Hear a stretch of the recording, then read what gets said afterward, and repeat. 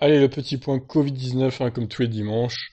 21 471 331 cas pour 771 276 décès. Donc euh, voilà, c'est toujours euh, plus de cas. 5 millions 3 aux US, 3 millions 3 au Brésil, 2 millions 5 en Inde. La Russie va bientôt atteindre le million de cas. J'aimerais quand même vous faire remarquer qu'au Canada, ils sont pas trop trop touchés malgré la taille du pays et la proximité avec les États-Unis. Euh, faut quand même descendre assez loin pour 123 000. 123 000 cas seulement au Canada. L'Australie, pareil, hein, ils sont pas énormément touchés. Euh, c'est encore, encore plus loin. Ils sont où l'Australie? 23 288 cas. L'Autriche, pareil, 23 370. L'Irlande n'est pas énormément touchée aussi, même si l'Irlande est un peu plus petite que, ces deux pays. Surtout que l'Australie. Mais, euh, le Canada, ouais, aussi, s'en sortent plutôt bien, hein, malgré la proximité avec les États-Unis. C'est assez étonnant.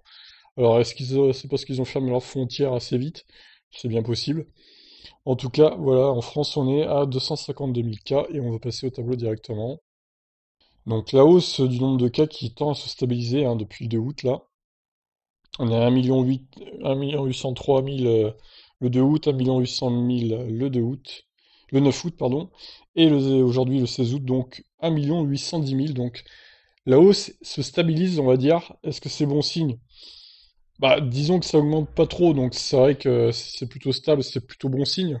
Parce que ces dernières semaines, ça faisait qu'augmenter. Hein. Vous voyez, 12 euh, juillet, 1,4 million, 19, 1,5 million, 26, 1,7 million.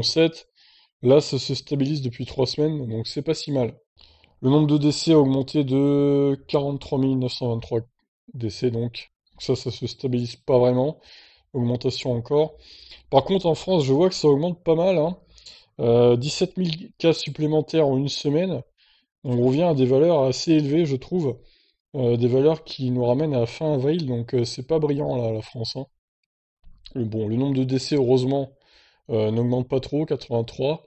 Ça augmente un peu, mais c'est en dessous de 100 encore, donc c'est pas catastrophique, on va dire. Mais attention, le nombre de cas qui augmente dangereusement, je trouve. Voilà, bah écoutez, on se retrouve dimanche prochain pour un nouveau point Covid. Et d'ici là, portez-vous bien. Ciao